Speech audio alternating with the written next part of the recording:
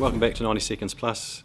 And today we've got Mrs. Mayor again. It's been a wee while, so it's time to catch up. So how's Nobby? Yeah, he's he's better. Yep. He's getting better all the time. Yep. He's still a wee bit tired and he, he's pacing himself. Yep.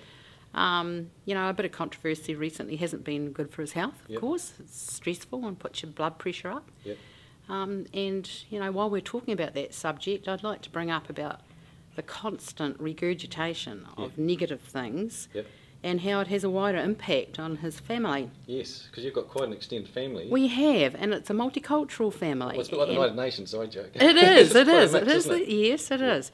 And um, they get upset because we all know that Yep. Nobby's not the way he's being portrayed in the Yes. media. Yep. Um, and, you know, it, it ripples on. And I've even had my grandchildren come back from school saying, is Papa a racist? Yeah, yeah. And we just think that's appalling. It is. Um, so people need to realise when they keep regurgitating this kind of information and painting a picture of who they think Nobby is, but who he isn't, um, it does have a wider impact. And so it's getting a bit tiresome, Mm-hmm. Yeah. to be honest. I think it says Yeah. a lot about you know the taxpayer funding um, democracy or local democracy journalism. That particular journalist does the story, and then the other ones, other mainstream media have access to that, and then they feed off it.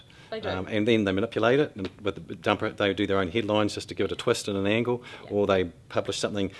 Um, like the, the public meeting, uh, uh, a Dunedin-based newspaper, I won't name ODT, um, they ran the story about the public meeting, and then shamelessly at the end, they just, without context, had that the mayor had made racial slurs on a TV show last week. So it's that sort of just gutter journalism, and they wonder why there's no trust in them. And was, and that show was sold to Nobby on a was a was supposed to be a comedy or whatever. And again, that's funded by the taxpayer, which is sad. Yep. Um, that should be the outrage. Is Yeah. why we, our money wasted on such trash. Well, again, we've, uh, here we are. The poor old ratepayer is faced with what will be 10, 20k. When we're already in a living uh, financial crisis, a living crisis, um, you know the ratepayers are already struggling as it is, and here we are, and we've got a, a code of conduct which um, I would have thought if a couple of councillors had an issue with the mayor, they would approach him and say, "Can we have a chat in your office, or can we have a full council meeting behind closed doors, and everybody could debate it and, and discuss it?" So, what's your, um, you know, Oh, I agree. Yeah. I agree, Mike. I think, you know, his door's always open, Yeah. and he's he's anybody can approach Nobby about anything. Yeah. He never personalises anything. He's quite a logical thinker and unemotive. Yeah. So yeah, his, I just don't understand why they just didn't go and have a yarn to him Yeah. and say, hey, I didn't like what you said. Fair enough. Yeah. Um, and he might have considered putting out an apology if he had Yeah. they thought he'd offended a lot of people. But well, it's good he's hey, apologising now. So really, it's Yeah. sort of done and dusted. I. I mean, he's made the- sometimes, yeah. he's made the apology. He, he, he shoots from the hip, Nobby. Yeah. He's a straight talker. Yeah. And, and sometimes it gets him into trouble. It does. Well, quite often it gets him into trouble, but you know, that's how he is. What you see is what you get with That's Nobby. right. Yes. So, and I love that honesty about Yeah. him.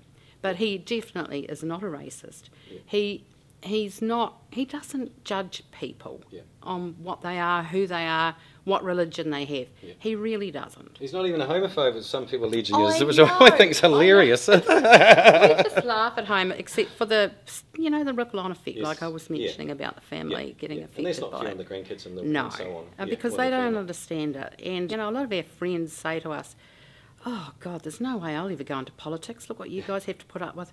But you have to have a thick skin. Yeah. And personally, I don't. I just laugh it off Yeah. because every you're never going to make everybody happy. I, I mean, the world's full of different ideas, but I don't let it get under my skin Yeah. at all. And sometimes, sometimes I, I do get tempted to have a go online at the trolls and go, take that, you know, Yeah, because, and, so- and occasionally I have, and my daughter is absolutely horrified. Yeah. And she says, oh, mum, it's just terrible, you know. But sometimes it just gets too much for me and I have to fight back. But Yeah. most Yeah. of the time I try to just control it and have a wee laugh Yeah, about it. Yeah, yeah, I've learnt the hard way as well. Having a media outlet, you get attacked, and oh, but I've learnt ages ago you're not going to please everybody. So it's like, hey, life's too short to be worried about some small-minded bunch of small-minded people. Yeah. And just get on with life. And it can be it can be fun to actually um, have a wee go at somebody and have a toing and frying. And the minute they start to personalise the argument, you know you've beaten them. Yeah. Um, and that always, and then I finish it there, and I think, ha ha. Yeah. they got Gotcha. the- they've Gotcha. got- yeah, exactly.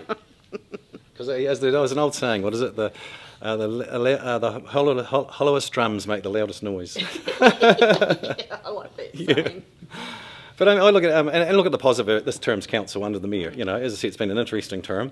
Yeah. Um, I was always concerned that you know once Sir Tim passed the you know passed it down to the next Yeah. uh, next mayor that we wouldn't get the same coverage. But I know he's doing really good. Not always in the best way, but he's certainly kept Invercargill on the map, which is key to uh, our great, uh, getting our, our, our city out there. Yeah, and I think, you know, I think this council is great.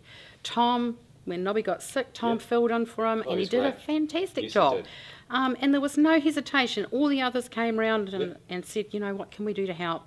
Um, they pulled together as a team, Yeah. and that's all you can ask for in a city council. Yep.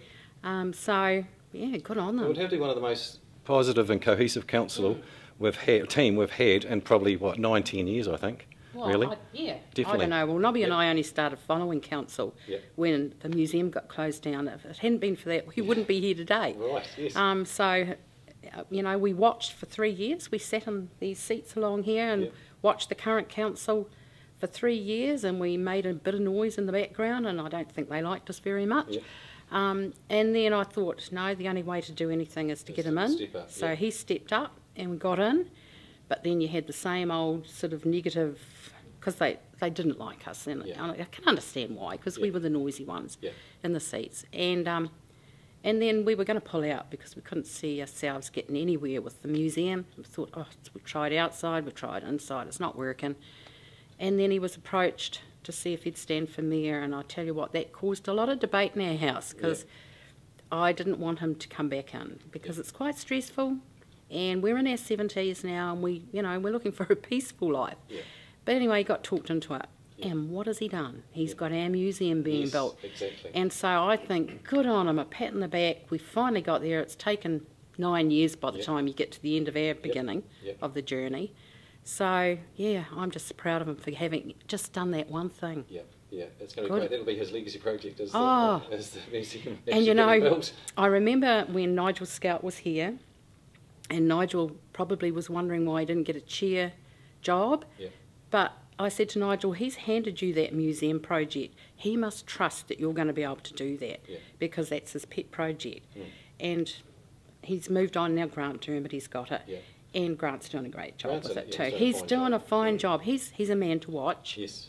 coming through the ranks I in the so few year, next few years, Yes. and so I've got my eye on on Tom, Yeah. and I've got my eye on Grant, and I and Trish Boyle. She's Yes, a quiet lady in the yes, uh, background, but yep. she's pretty good. And I'll tell you somebody else whom I've changed my whole point of view about Yeah. is Lesley. Yes. Lesley Soper. Yep. Now I never used to think much of Lesley when I was sitting back here, but. She's one of the hardest working councillors on that council. She does huge amounts of work behind the scenes and she never steps forward to the limelight. She's a quiet, hard worker in the background. Yeah. So, yeah. And so- while we're giving the councillors a plug, I've got to give um, Darren Ludlow a plug as well. Oh. He's our longest serving councillor, I think, He for- uh, is. is. And to be fair, as I said to him when they, um, I, I officially, opened, officially opened Esk Street, I said to him then, um, I've noticed this th- this new council, um, you seem to have a bounce in his step. I think it's been really fun for him, or and more enjoyable for him as well. And also, he's been, um, again, Nobby included him and gave him responsibilities and different things. And Mm. Yeah. I was a chair, I think he's a chair of one of the committees. he is, forget, yeah. forget which one, I should know.